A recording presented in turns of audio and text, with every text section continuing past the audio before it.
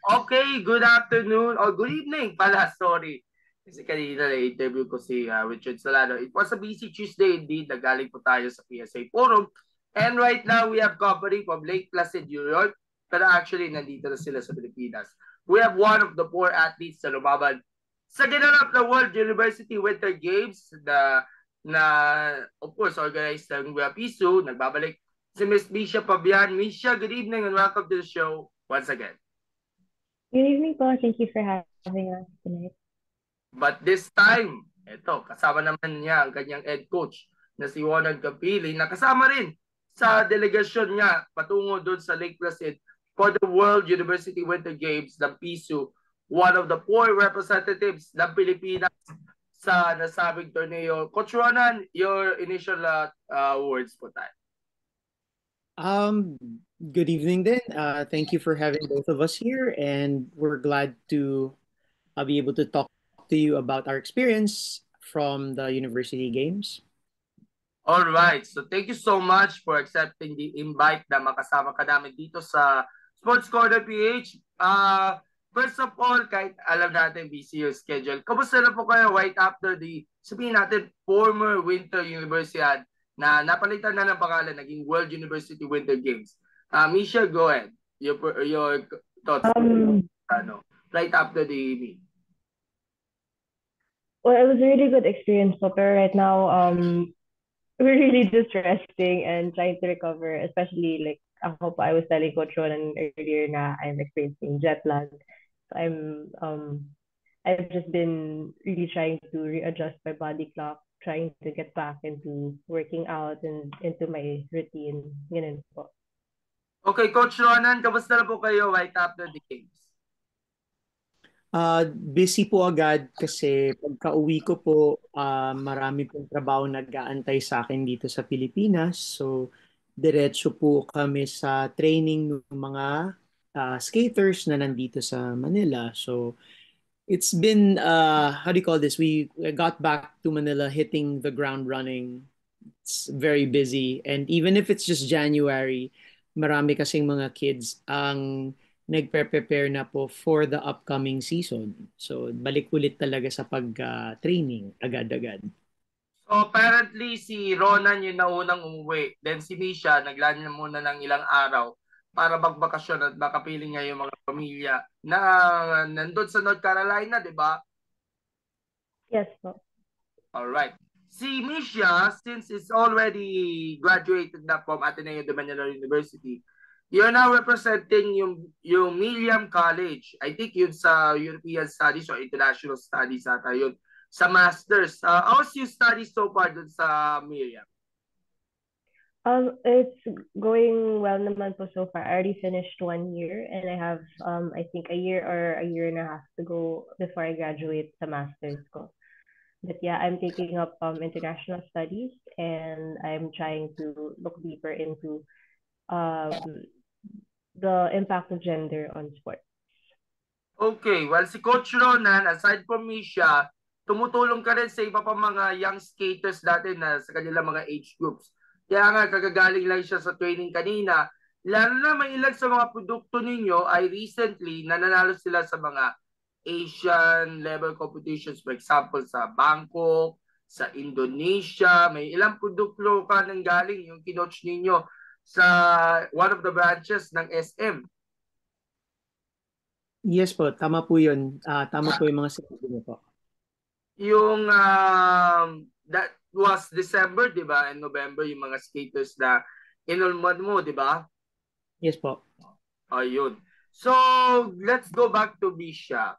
Paano ka napili bilang isa sa mga delegado nga po the World Winter University Games? This is your comeback year kung may tuturing. Kasi yung uling salang mo, yung first uh, year mo was in 2019. And dumaan ng pandemic. And then, bumalik ka with a big bang after, sabihin natin, four years, o may tuturing na comeback ito. And how was your preparations there for the meeting? Kasi, pabalik-balik ka sa US to do the training itself. And of course, meron kayo mga natutunan ng mga lessons or experiences nga from the training camp na ginamit mo for the games, Misha. Um, the selection process was entirely up to FESAP, and I'm grateful for that they chose me to represent um, for my final stint at the Universiad. And the preparation process po was rigorous kasi as you said po, um, the pandemic happened and we didn't really have ice in Metro Manila until 2021 again. So um, I had to, uh, ah, 2022, if I'm not mistaken. Um, so I had to fly to the US um, late uh, 2021 to train. And then most of my training was done also um, at Mega Mall when it opened again in 2022. And we tried to get um, a few more like training sessions in before the actual competition in North Carolina because we flew out no December 2023 para makapag-adjust um, and acclimatize kasi yun nga po, I don't adjust fast to uh, jet lag and um, time zone differences. So we thought it would be wise to really go earlier para there's ample time for me to settle down. And now you physically and mentally prepared for this. Yung condition nyo, both physical and mental, before the games itself. Honestly, I would say that I was very physically prepared because I was able to run clean programs. The mental, I know, the mental game, that's a different story. That was, um, I I feel like that's something I could have prepared for better. And that's something that I think one of my biggest learnings from these games is that it's really like the sport is very, very, very much mental. And that's something that I have to work on as I progress in my career as a figure skater. Coach Ronan, ikaw naman, masasabi ba natin na naging maganda ba yung preparasyon ni Misha para dito sa Winter World University Games, may mga adjustments ba ginawa to make the routine and executions na ipopolish natin para mas maganda pinakita niya ang performance going into the games itself? Um, we actually had good a good um how do you call this?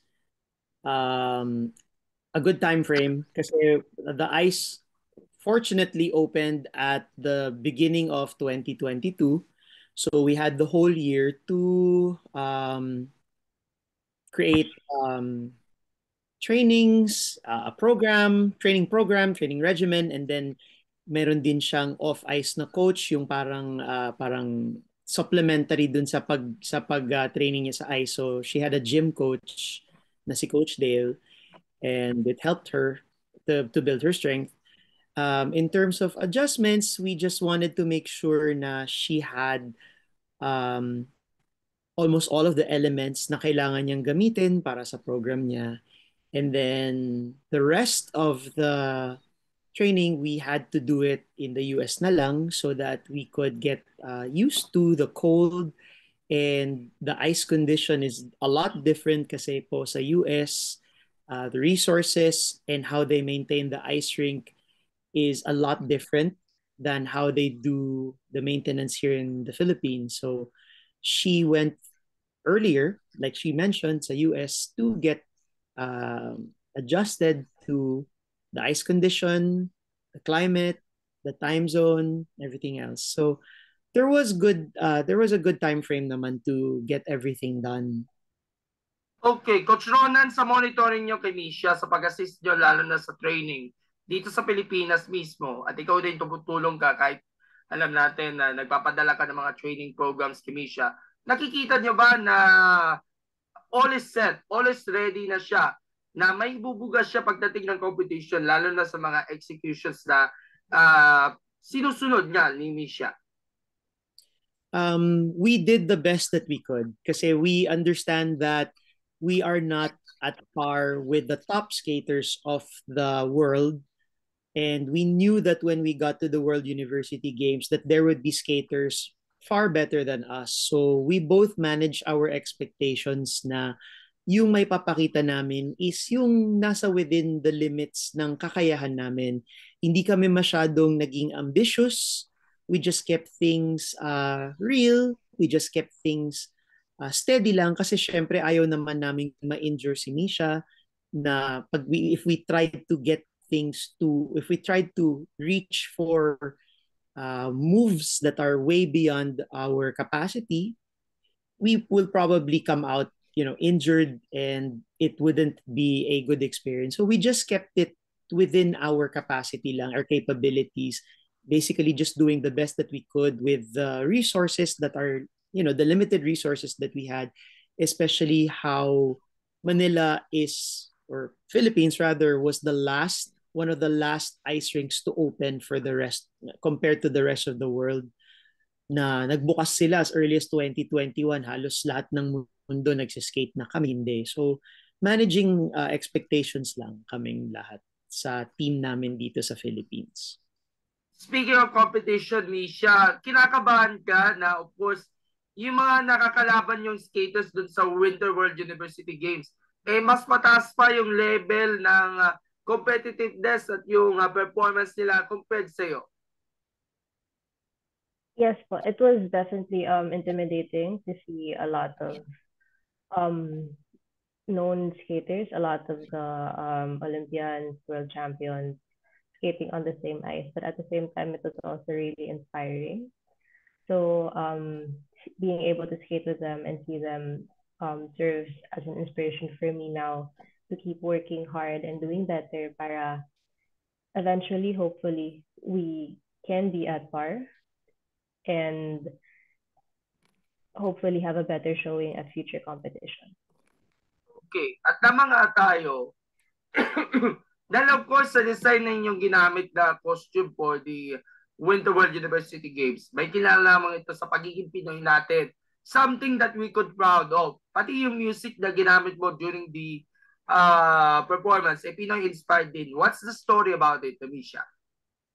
I really wanted to be able to showcase um, the Philippines. That was my goal for the short program.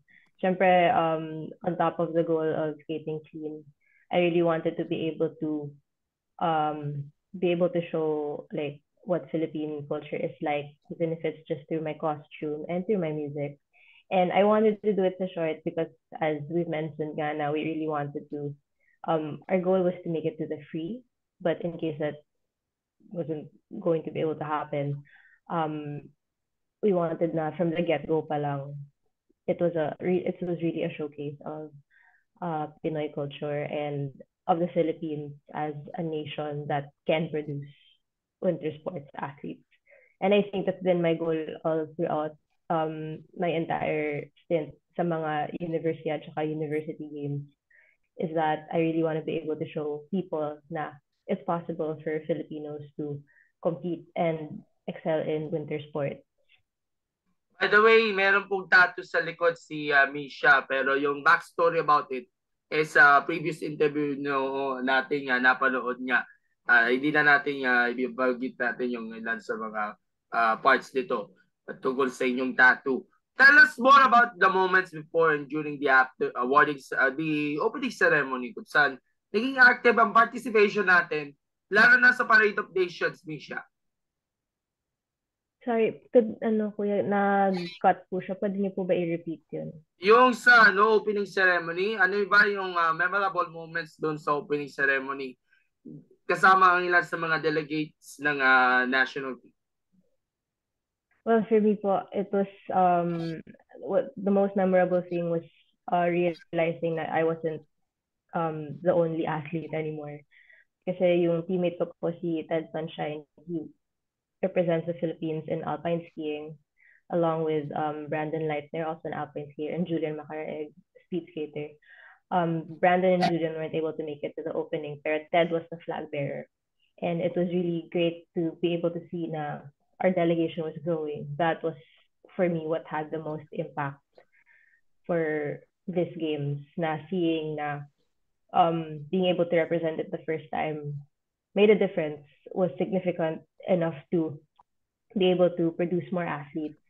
And hopefully, for the next games to come, the delegation will just keep growing and growing and um, hopefully be as big as the summer games delegation.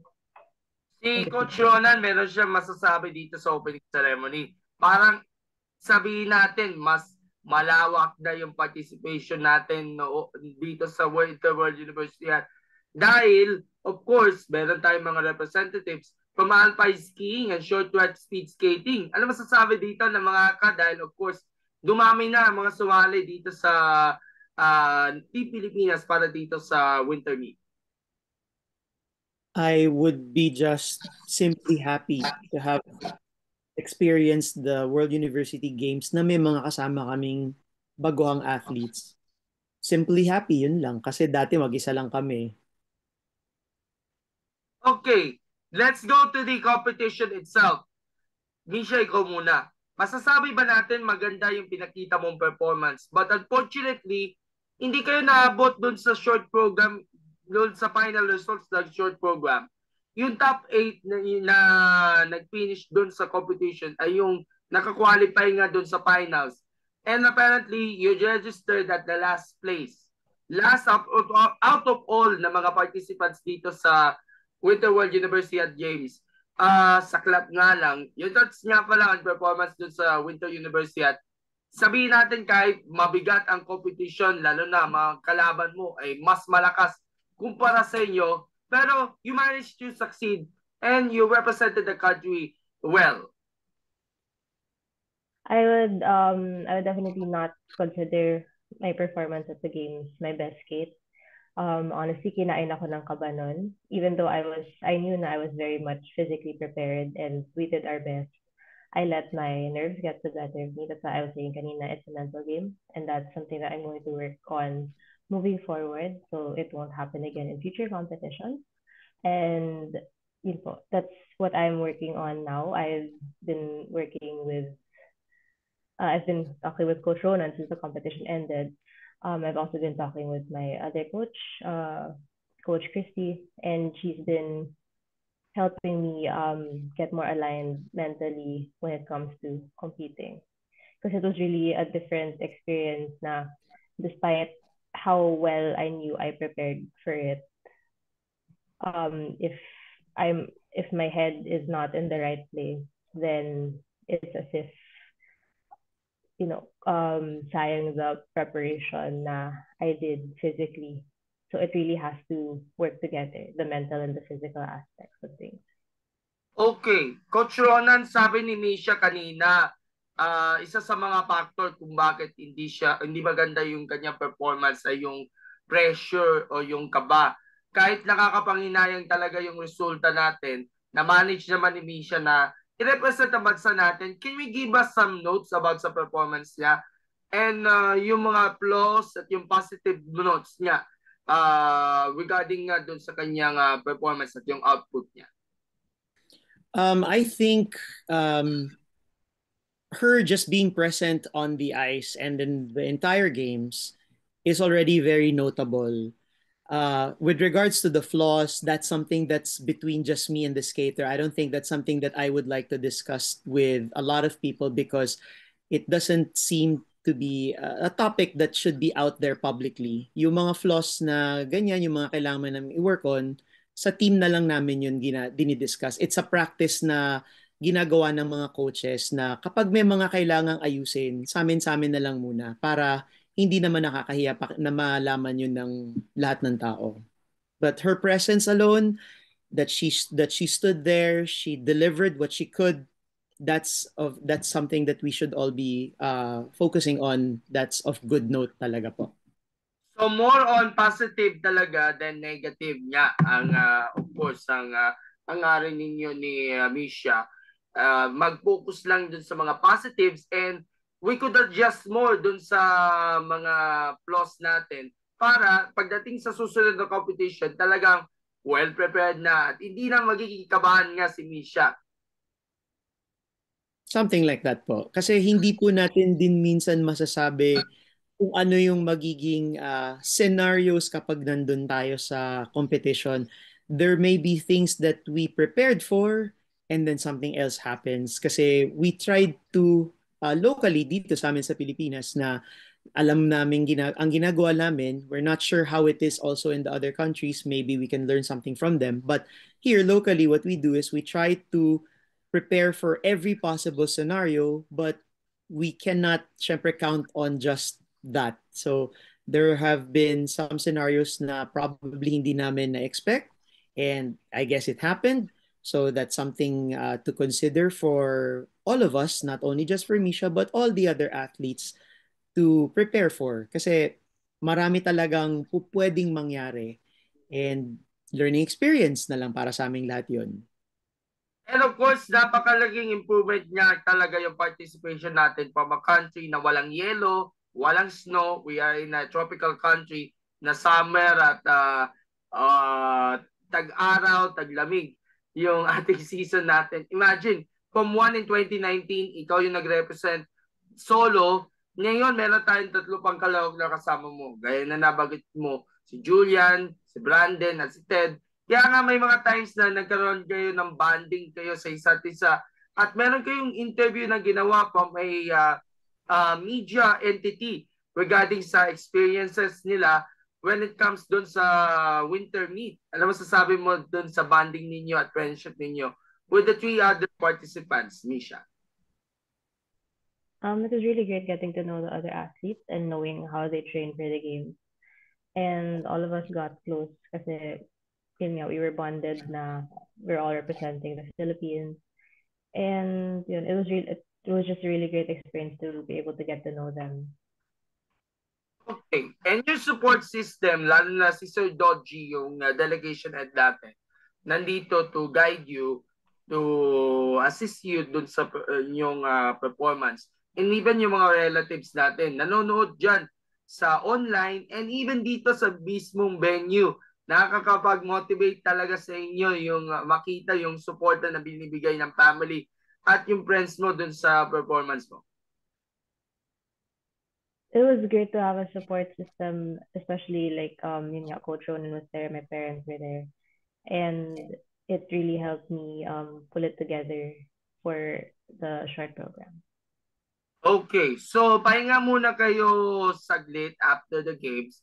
Pero of course, may mga nalalatag kayong roadmaps para pagandaan nyo yung mga susunod pa mga competitions. What's next for Misha and even for Coach Ronan? Lalo na sa mga skaters nyo doon sa mga Asian competitions and other competitions kung saan invited ka.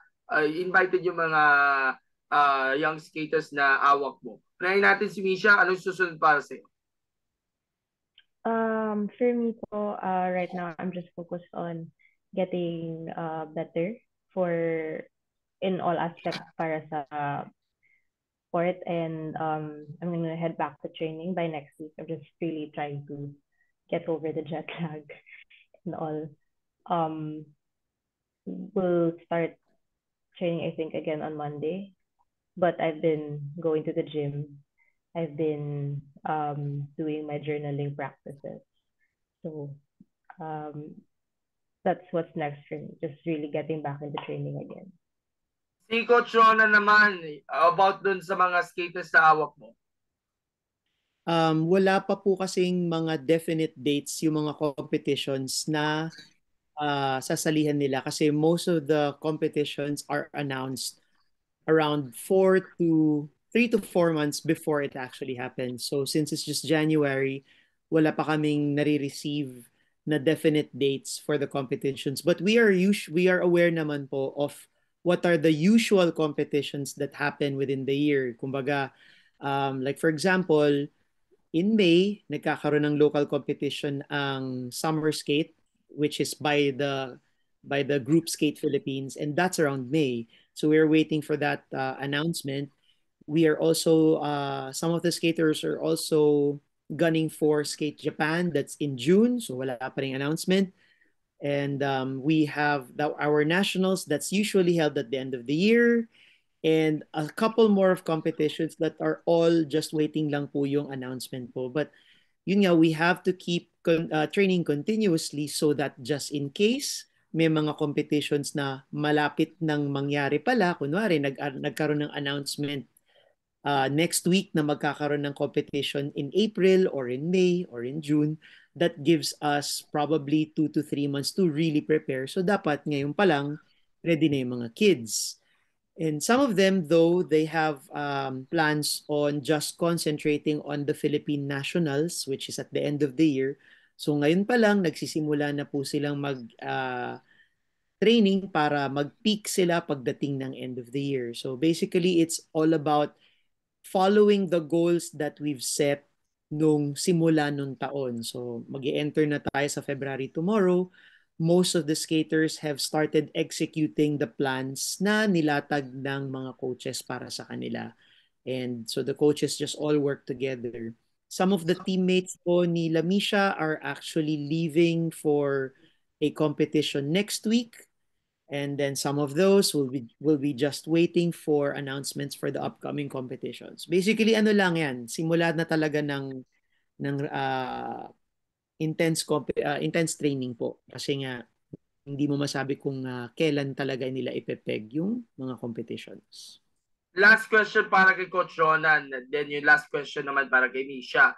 Since patapos na yung stint ni Misha sa World Winter Universiad, um, may mga tinitigdan ba kayo mga potential na ipapalit sa kanyang pwesto? Kasi ang susunod na edition ng uh, Universiad was in 2025 pa. Yes, I... um, go ahead. Si Misha. Oh, no, it's okay. Go, Coach Ronan. Agricultural go. Uh, we actually, FESAP has actually a list of skaters po na tinitingnan po nila. Kaya uh, siguro para sa akin is I would like to wait for FESAP to have their say because baka ma-preempt ko eh. Tapos yung pala iba palang skater ang padadala nila. Pero meron naman po kasi silang uh, list of figure skaters na kumbaga susunod sa yapak ni Nisha. And so we just need to uh, keep you guys in suspense, I guess. Oh, hintayin muna natin yung mismong desisyon ng PESAP. Kung sino yung uh, talagang ipapadala natin na maaaring ipalit kay Nisha doon sa 2025 edition naman ng Winter World University Games. But I would like to ask the last question for Misha before we end. What is your experience sa maaaring mong i-share mo as you ended your stint sa Winter University at kahit nabigo tayo 2019, ikaw yung naging flag bearer, tapos ikaw lang yung nag-represent sa Pilipinas. 2023, may mga kasama mo na sa delegation, pero at least maganda pa rin yung performance mo doon sa competition since alam natin somewhat tapos na yung uh, collegiate years mo. Um, I just, I'm entirely grateful for the experience. To have been able to do it twice is a really, is a, is such a good feat. And um, I'm really excited for the future athletes who will be able to experience it. It's really once in a lifetime. And I feel like it's something um, every athlete deserves to experience. And I can't wait to see the future for winter sports. Okay, so nagdaan na naman ng isang uh, magandang interview. Although nabig tayo, we are definitely proud sa achievement niya ni Misha na na-represent two times itong uh, uh, Pilipinas dito sa World Winter University Games. Congratulations, Mishan Ronan, for a job well done. Alam natin, medyo hindi natin maganda yung performance, pero itong mga lessons na gagamitin ninyo ay maaaring igamit para mas improve o maging better skater naman pagdating naman sa mga upcoming competitions sa balag niyo sa Lian. So, as we end up, mag-put muna tayo. Let's us do a thumbs up and smile. All right? One, two, three. Okay. Uh, as we end this interview, makapwede ninyong ingan ng inyong pasasalamat and uh, uh, shout out sa lahat ng mga taga-support ninyo. Coach Ronan, ikaw muna.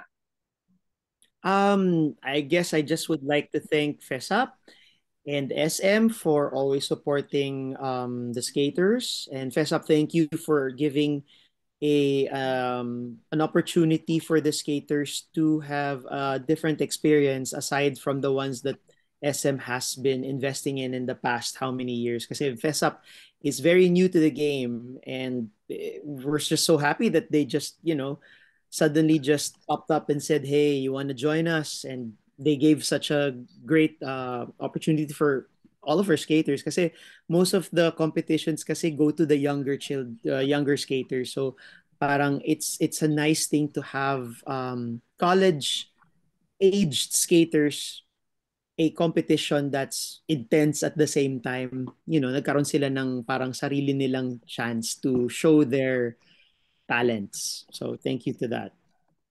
Okay, and finally, Nisha, it's been a grateful journey nga pagdating nga dito sa Winter World University Games. One chapter has done. Um, maybe you have some spare time para magpasalamat at magbigay ng uh, tribute sa lahat ng mga uh, sa ng mga nag-alay uh, ng kanilang tulong sa inyong campaign. It's your turn, Misha. Um, I just want to say thank you first and foremost kay for the opportunity. Um, Sir Graham, Professor Calo, Ma'am says, thank you for um, continuing to support and um, our athletes. Uh, I want to say thank you to my parents for always um, being supportive and for their love throughout the entire thing. Um, to my friends, family, loved ones, to Coach Ronan, to Coach Dale, to Coach Chrissy, to Coach Michael for being such an excellent support system as well. Um, I've learned a lot. I've experienced a lot that I feel I will take um, for the rest of my life and improve on my career as a skater. So thank you, everybody. Okay, again, Coach Ronan and Misha. By the way, uh, uh, iwasan niyo muna eh. Sana matanggal na yung jet lag para pag makabalik nga doon sa competition eh. Mas lalo mo nang pagandaan yung inyong may papakita performance. Thank you nga pala sa for doing this interview. Misha, can we do it another one in the next uh, competition kung pwede? Sige po, game po. Message All right. Again, Coach Ronan and Misha, thank you so much for sharing your experience sa Winter World University Games. Thank you din sa dad mo ha, para sa opportunity. And looking forward for a more better and more improving Misha. Even dun sa mga skaters na inawakan ni Coach Ronan na uh, naglumalaban sa mga international competitions in the coming days.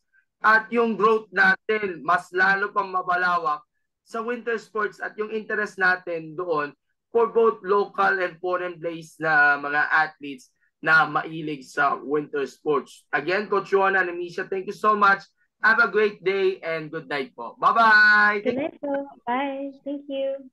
Thank you, Coach Juanan.